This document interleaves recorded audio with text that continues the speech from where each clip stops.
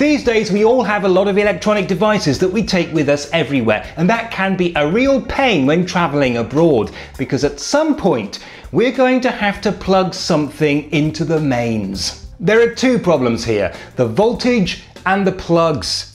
Fortunately, they're much less of a problem now than they used to be. First, voltage. The mains voltage is 220 volts in Europe, but in some countries, for example the United States, it's 110. And obviously, if you take something that's rated at 110 volts and plug it into a 220 volt power supply, you'll fry it.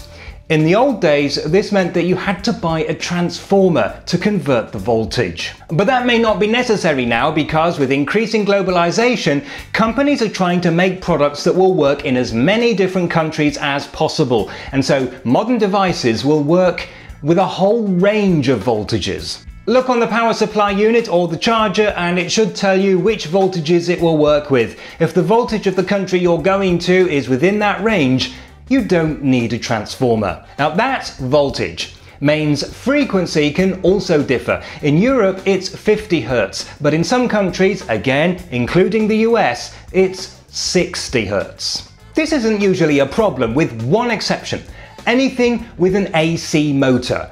For travellers that means hair dryers. There's no good way to convert mains frequency. You would need a particularly expensive type of uninterruptible power supply and you really don't want to be dragging that around with you. But if you run an AC motor on the wrong frequency, it's quite likely to burn out. It may not happen instantly, but sooner or later it's probably going to stop working.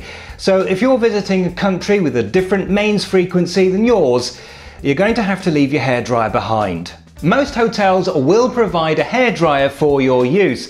Some budget hotels don't have hairdryers in the room, but you may be able to borrow one from reception either for a small fee or a deposit. This isn't an issue with electric shavers because they have DC motors. Well, then there's the issue with the plugs because they can differ from country to country. This is the type of plug that's used in most but not all European countries. This is the type of plug that's used in Britain and Ireland. And this, this is a North American plug. You'll usually need an adapter. This, for example, is an adapter for an American 2-pin plug. The plug goes in here and then you can plug it into a German wall socket. But you may not need quite so many. Sometimes when you buy a device, you get several different plugs and you should keep them if you think you're ever going to travel abroad. For example, smartphones use USB chargers. Now this is the charger that came with my phone and it's got a 2-pin European plug on it, which I can't use in Britain. But when I bought my audio recorder, it came with this USB charger. And the thing about this charger is that I can actually remove the pins and I can replace it with this. And now I can use it to charge my phone in Britain. It's also worth remembering that hotels are now beginning to provide USB ports specifically for phone chargers. You shouldn't rely on that though because not all hotels have them. Yet. Larger items like laptops come with a power supply unit rather like this. Now this has an American plug so I can't use it here in Germany. This power supply unit has a cable which goes to the laptop, that won't come out, but the power cable will.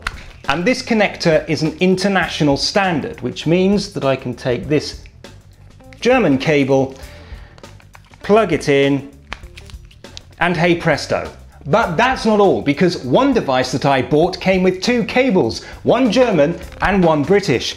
And this means that if I visit my family and I want to take my laptop, hey presto, so there it is. You probably don't need a transformer, but you're quite likely to need some adapters, but they're not too expensive. But leave your hairdryer at home. Thanks for watching. If you'd like to send me a postcard, here's the address. And don't forget to visit my website and follow me on Twitter and Facebook. Also, if you'd like access to special bonus content and help with the costs of running this channel, please consider making a small monthly donation on Patreon.